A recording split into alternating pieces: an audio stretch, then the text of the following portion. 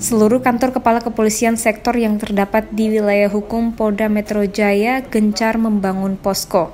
Dibangunnya posko di setiap kantor polsek itu dilakukan guna mempercepat tes antigen terhadap para pemudik dengan cara membaur bersama petugas tes antigen yang ada di Kecamatan Pasar Rebo sesuai dengan arahan Kapolda Metro Jaya yang diteruskan kepada Kapolres untuk setiap masing-masing polsek itu melaksanakan kegiatan swab tes antigen gratis. Dalam menggelar tes antigen gratis ini, Kapolsek Pasar Rebo Kompol Marbun mengkombinasikan dengan pihak kecamatan dan juga menjelaskan bahkan perharinya dari kecamatan menyumbangkan 15 hingga 20 alat tes antigen dengan targetnya di mana sampai masyarakat tidak ada lagi yang belum mengikuti tes antigen ditindaklanjuti dengan kita adanya pemanggilan ya terhadap warga untuk dilaksanakan tes uh, swab antigen.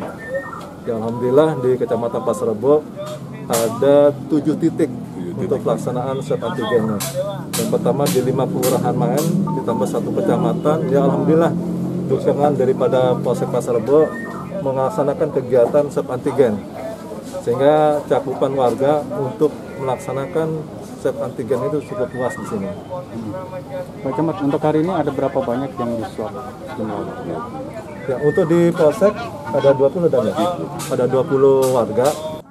Kapolsek Pasar Rebo Kompol Marbu mengatakan dengan gencar mensosialisasikan sampai pada tingkat RW RT bahwa setiap warga masyarakat yang melakukan mudik di lebaran tahun 2021 itu wajib mengikuti tes antigen pada posko yang telah disiapkan sesuai dengan arahan Bapak Kapolda diteruskan kepada Bapak Kapolres untuk uh, setiap masing-masing polsek itu melaksanakan uh, posko ini.